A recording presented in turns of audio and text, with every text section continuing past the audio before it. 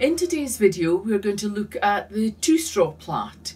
It's another favourite of mine, but it's also a plait that I'm asked to demonstrate quite regularly. I've gone ahead and I've soaked my straws as usual. Um, we need two straws for the plait, but as I always say, soak a little bit more so that you can practice two or three times. So let's have a look at the little plait now. So as usual, I've tied my straws together tightly just below the heads. It's really important with the two straw plait that your straws are matching. So pay particular attention to the straws and make sure that they are both the same thickness. Feel them between your finger and thumb and you should feel that they're of equal thicknesses. If you're unsure, another way um, of telling is if both heads are the same length, then there's a good chance that the straws will be the same thickness. And it's really important when you're doing the two straw plait to have straws that are exactly the same. If you have a finer straw and a thicker straw, the thicker straw will push the finer straw out of place and you'll end up getting twists in your plait. So just be careful that you choose two straws equal thickness to begin with. So as I say, I've gone ahead and I've tied them together. Now there's two different ways to form a two straw plait. The first one is where the straws sit at 90 degrees to each other. So if I have one straw at six and one at three, and then I push this straw towards 12, you can see I've got a 90 degree angle in here. And then what I would do is just bring the work round so that I'm back to the start again. I've got a six o'clock straw and a three o'clock straw and I would push the six straight forward to 12 so that again you've got this 90 degree angle. But when you're doing a two straw plait like this, you will always get a twist in your plait. And I think one of the things that people often talk about with this plait is how to get a nice straight plait. So to get the nice straight two straw plait, we actually work, instead of the angle at 90 degrees, we work with the angle in here at 120. So let me just take out these two moves just to sort the straws out for you. So in this case, I work with a straw at six o'clock and I've moved the other straw up to two o'clock so that the angle in here is 120. And I'm going to take the six o'clock straw and I'm going to move it to 10 o'clock. So I just pop it over there and there you've got another angle of 120. Turn your work round. So we're back to six and two and then fold over to 10 and round. So basically, if you think of a clock face and divide it in three, so you've got two, six and 10, and that's the, positions that you're working towards.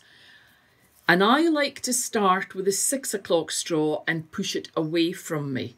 I feel I've got far more control doing it that way than bringing it towards me.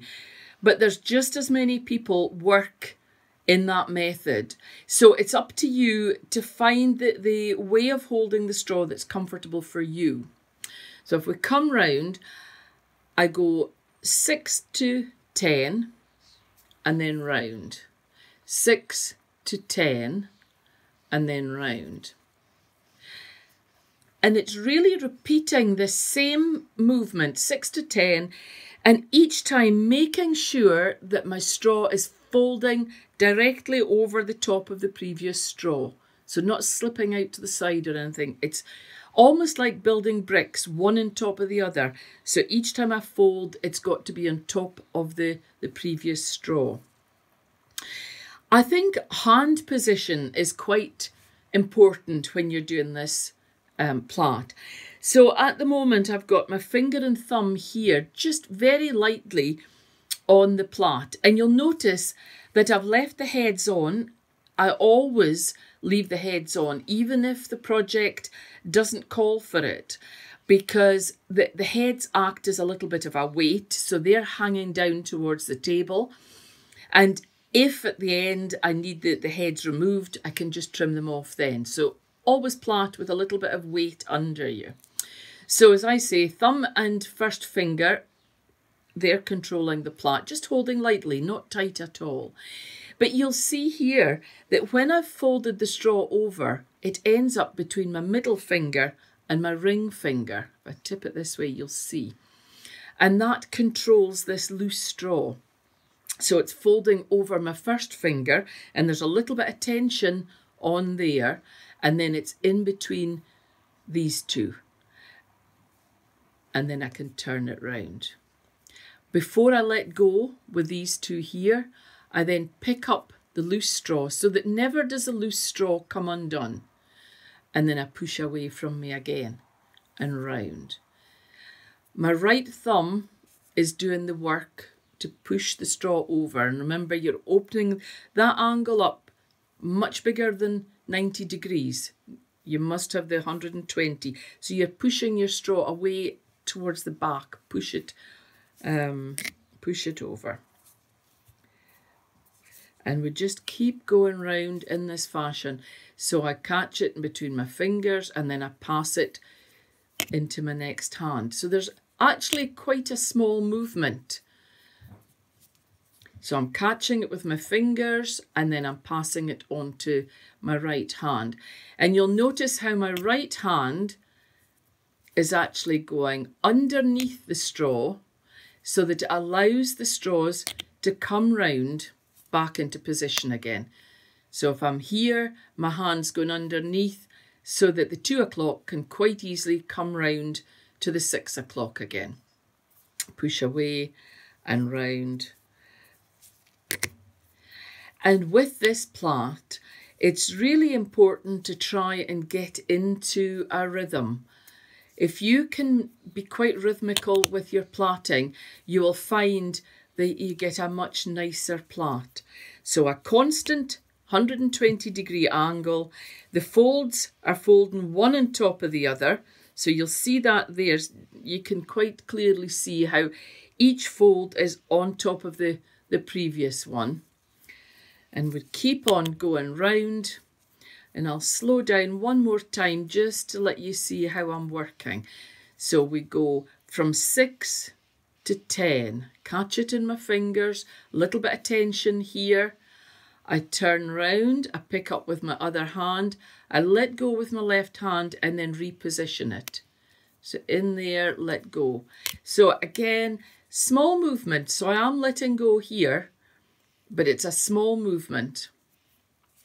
Just enough to let the plait straighten. When pupils often start this plait, they find that one straw just circles around the second straw and they never get a plait. But what I say to them is just to keep going. Don't give up at that point. Just keep thinking what you're doing. You're folding over the top. So the, the straws are actually quite flat. If I tilt them this way, can you see there's a flat plane here and over. And you really, you just keep on going now until your plait is long enough for the project that you want to, to use. Once it is long enough, just bring the two straws back together again and you'll tie right at the end of the plait. And if I take in a finished plait just to let you see, and you can just see how lovely it is. So I hope you've enjoyed that and look forward to seeing you next time.